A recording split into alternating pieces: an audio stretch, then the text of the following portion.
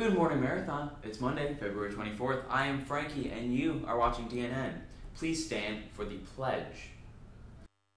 I pledge allegiance to the flag of the United States of America and to the republic for which it stands, one nation, under God, indivisible, with liberty and justice for all.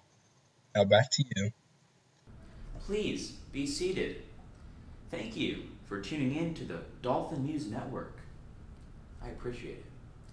If you haven't added online AP course, see Miss Logan ASAP. Are you a senior who would like to take the in-school SAT? You can sign up outside Miss Logan's door. The annual Dolphin Showcase will be tomorrow from 5 to 6.30 in the gym. Talk to your teachers now about what classes you want to take for next year. In sports, Marathon Varsity Softball plays Terre away today starting 4 o'clock. There is a track meet at Coral Shores away tomorrow. Varsity Tennis plays Palmer away at 3.30 tomorrow. Today, JV Softball plays Colonial Christian at 4 o'clock at home.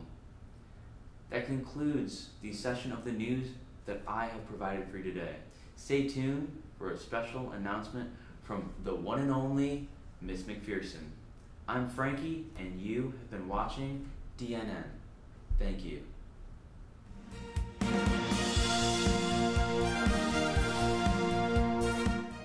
Good morning, Dolphins. Um, I wanted to go over your Dolphin Guide briefly this morning. You'll be getting these Monday morning in preparation for Tuesday afternoon when we come back for the curriculum showcase.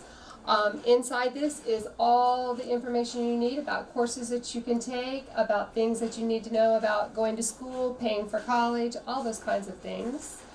Um, what I want to focus on today is the career and technical education. There is a new sheet in here that kind of sums up all of the career and technical education pathways that we have to offer. Here we go. So when you get your Dolphin Guide, make sure you're paying attention to this.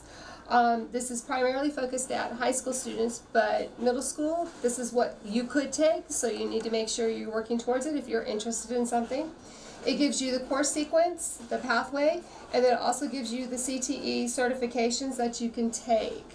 So you just kind of match the two colors together so you know what pathway you're in.